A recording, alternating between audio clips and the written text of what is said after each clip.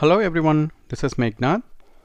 In this module, we will learn how to write a simple while loop and we'll see an example using C program. Let's get started. So let me open Code::Blocks.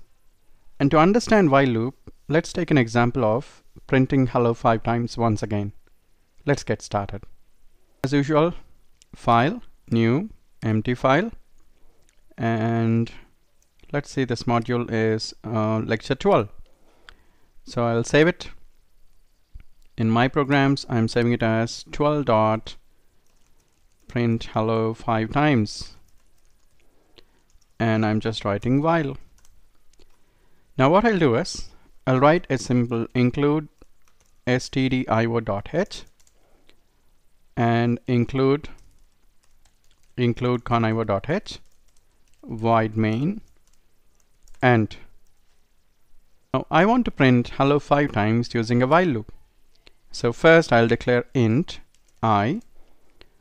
When you're using while loop, so we need to check the general syntax for while loop is while condition.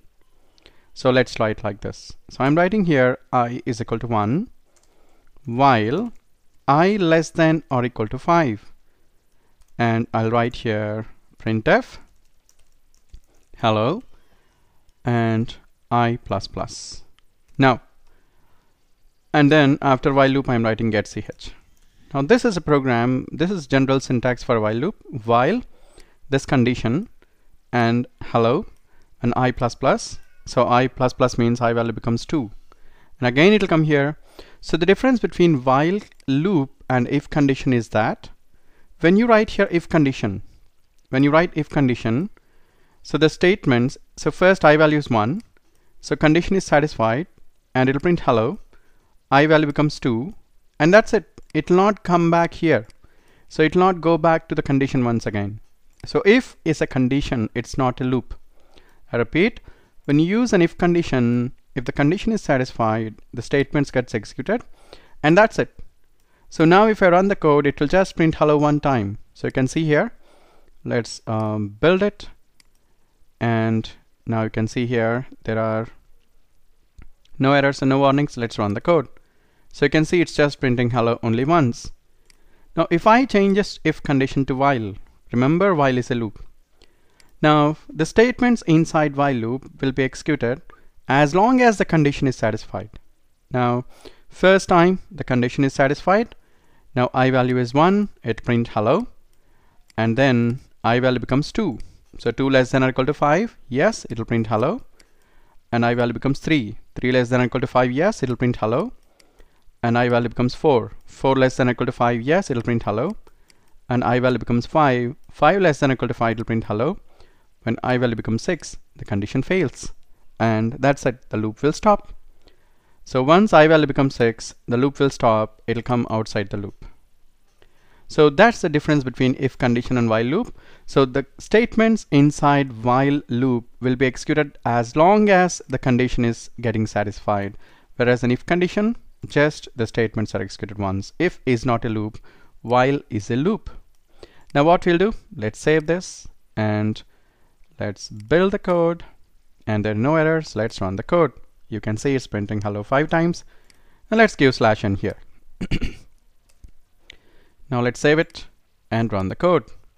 Now, now even though I change the code and I'm executing it, it's actually executing the previous code. So we need to build once again. So let's close it. Let me minimize it so that uh, from next time we can actually we don't have to uh, yeah so what I'll do now now let's build this build it now there are no errors let's run the code so you can see here it's printing hello five times using a while loop and now let's take for example I want to find sum of first 10 natural numbers. So so now this is print hello five times. Now the requirement let's take another requirement to learn using uh, to learn while loop. Now my requirement is let me open notepad. I want to find sum of numbers sum of numbers from 1 to 10 so in this case what I can do is I can let me illustrate in MS Paint.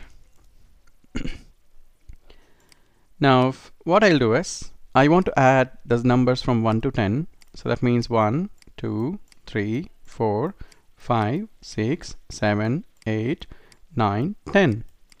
Now what I'll do is I'll take a temporary number, sum, and I'll initialize to 0. Now I'll add 0, this sum, to 1 and I'll add this total to 2 I'll add this total to 3 so I'll keep on adding this. So first time sum becomes 0 plus 1 it's 1 plus 2 it's 3 3 plus 3 is 6 6 plus 4 is 10 10 plus 5 is 15 15 plus 5 21 28 36 45 and 55 so like this I'll keep on adding the numbers one by one and store it in the sum. And then we will display the sum which is 55 so let's do this using a while loop. Now let's try to understand. Now sum of 10 numbers. Now I'll create a new file, empty file, and I'll save it. And this is again lecture 12. I'll write here 12 dot sum of 10 sum of 10 numbers. Now what I'll do now is I'll write include stdio.h and include include conio.h void main now first I'll declare int sum is equal to 0. int int sum is equal to 0 comma i. Now why I've declared sum equal to 0 because I'll be adding the numbers consecutive numbers to the sum. While remember I have to start from 1 i is equal to 1 while i less than or equal to 10 and I have to write here sum is equal to sum plus i.